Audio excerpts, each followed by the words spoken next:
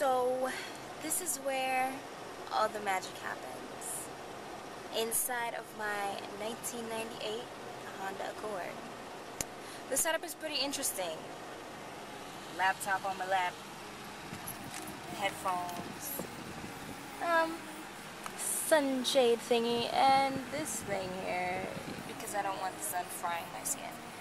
Now, on a nice day, I would leave all the windows open, but I had to put the AC on to get some of the heat out of the car. It's kind of weird, right?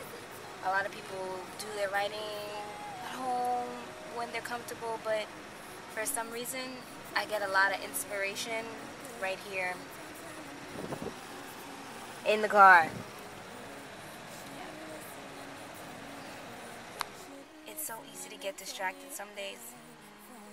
I mean, there's people walking by, there's people cutting lawns, and here I am in the car with the windows open and singing.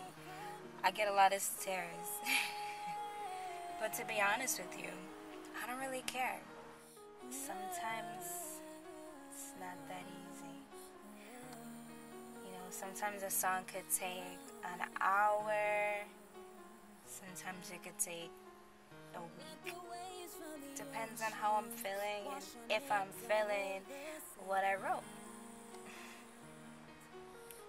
I'm an artist and I love my art.